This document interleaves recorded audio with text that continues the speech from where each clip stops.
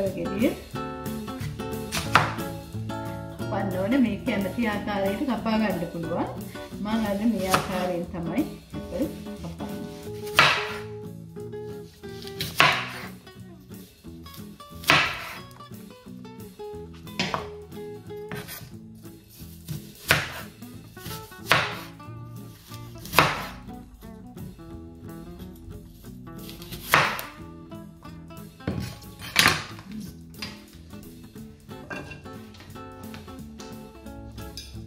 අවශ්‍ය ප්‍රමාණයට කපලා ගන්නවා. පතුලුණු හෝ බීලුණු කපලා ගන්නවා. ඒ විදිහට මේ මිරිස් කුඩු, ගම් මිරිස් කුඩු, ලුණු කුඩු, හරබින්චා, සුදු ලුණු, කුරුඳු කුටි. අවේවිච්ච මිරිස් කරා ටික. ඒ වගේ තමයි මේ ආහාරය පිළියෙල කරන්නේ. ඔව් දැන් ඉදිරි පියවර කුමක්ද මේ? ඔව් දැන් අපි පටන් ගන්න වාංජනේ සකස් කරන්න මුලින්ම තෙල් තමයි දාන්නේ. මේකට බොහොම පිරිස මෙහි ඔලිව් තෙල් එළවලු තෙල් ඒ වගේ තෙලක් තමයි පාවිච්චි කරන්නේ. ඊට පස්සේ මේ තෙල් එක රත් වෙන්න ඕනේ. මේ රත් වෙච්ච තෙලට තමයි කොපමණ වේලාවක් වගේ රත් වෙනවා? විනාඩි දෙකක් විතර යනවා මේ තෙල රත් වෙන්න කොහොම ඒ හට්ටියට සාපේක්ෂව තමයි මම මේකට මැටි හට්ටියක් තමයි ගත්තේ මැටි හට්ටියක යුවම තමයි රස වැඩි. රස වැඩි වෙන්නේ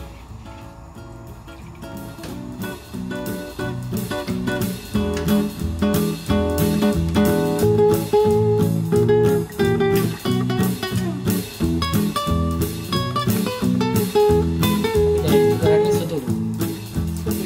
ඒ තලා ගත්තා වූ සුදු නේද? එහෙමයි ඊට පස්සේ ඒකට කුරුදු පොතු කුරුදු පොතු. පොතු පොතු. අර වෙච්ච ටිකක්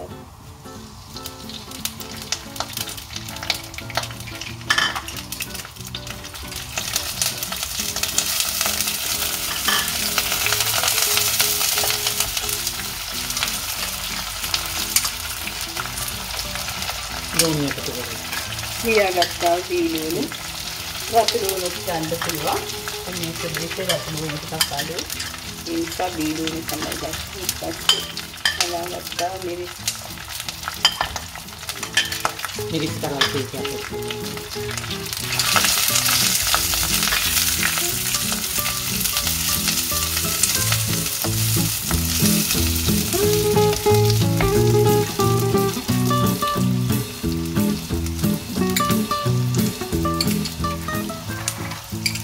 වැඩි ගින්දරේද නෑ නේ මේක කරන්නේ මම කිව්වේ මදකින් දැන් මේ බැලගත්තා මිරිස් කුඩු මේකට තුන පහ දාන්න මිරිස්. කුඩු සම්පූර්ණ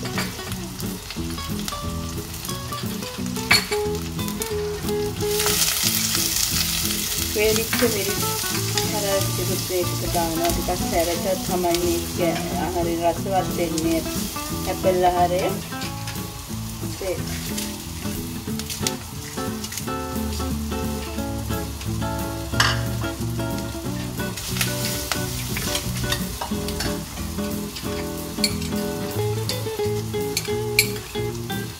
ලුණු ලුණු.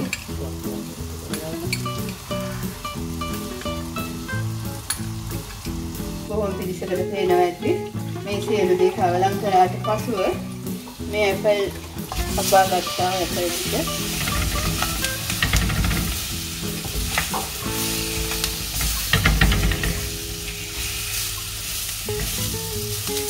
සියල්ල හොඳින් කවලා කරන්න. මේ ආකාරයෙන් කවලම් කරගන්න මේ ඇපල් කෑලි වලට දැන්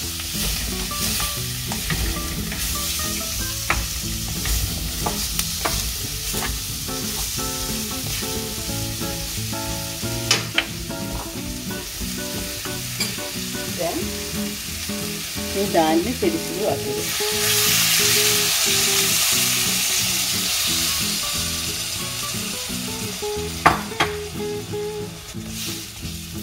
දැන් මද ගින්නේ වහලා තියන්න ඕනේ. තැම්බෙනතුරු ඇපල් වාංජනය කොපමණ වේලාවක් මම හිතන්නේ විනාඩි 15ක් විතර නැති කරන්න. පහළ මදගින්නේ තියෙනවා.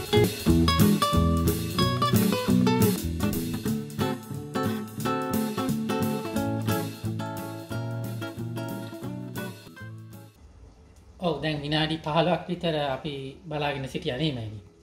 ඔව් ඇත්තටම දැන් මේ ඇපල් වාංජනය හොඳට තැම්බිලා තියෙන්නේ. මේ පේනවා ඇති ඉතින් කැමති නම් බොහෝ පිරිසකට අර පාන් වගේ එහෙම නැත්නම් රොටියක් වගේ කණ්ඩාවක් ශන මේ ආකාරයෙන් හොදි ටිකක් තියාගන්න පුළුවන්. නැත්නම් බොහෝම දෙනෙක් මේ ආහාරය පිසින්නේ හින්දලා අර පොලොස් මාළු වගේ කණ්ඩ. මොකද දවස් කීපයක් තියාගෙන කණ්ඩ පුළුවන් වාංජනයන් නිසා. මේ ත- මේ තත්ත්වයෙන් තමයි ඒ කියන්නේ මේ ආකාරයෙන් හොඳට තැම්බුණාට පස්සේ තමයි සීනි ටිකක් එකතු කරන්නේ. සීනි හැඩ තුනක් විතර එකතු කරනවා මේ සෑලි. ඒ කියන්නේ සුමානයක් විතර ශීතකරණයේ තිබුණොත් අපිට සුමානයක් විතර තියාගන්න පුළුවන්. පුළුවන්. ඇත්තටම මේ වාංජනේ අදම නෙමෙයි මේක හෙට වගේ දවසක තමයි ආහාරයට ගන්න ඕනේ. එතකොට තමයි රසවත් බව තවත් වැඩි වෙන්නේ. ඔව් ගංගමෑණිය දැන් පිසගත්තා වූ මේ ව්‍යංජනේ කාටද භුක්ති විඳින්න දෙන්නේ මුලින්ම? ඇත්තටම දැන් වාංජනය පිසගෙන අවසන් මම දැන් මේ භුක්ති විඳින්න දෙන්නේ හ්ම්, පාන් ටිකක් එක්ක කාලා බලන්න මට මේ ව්‍යංජනයේ සකස් කිරීමට උපදෙස් දුන්නා වූ වාසනාවටම තමයි. කාලා බලන්න.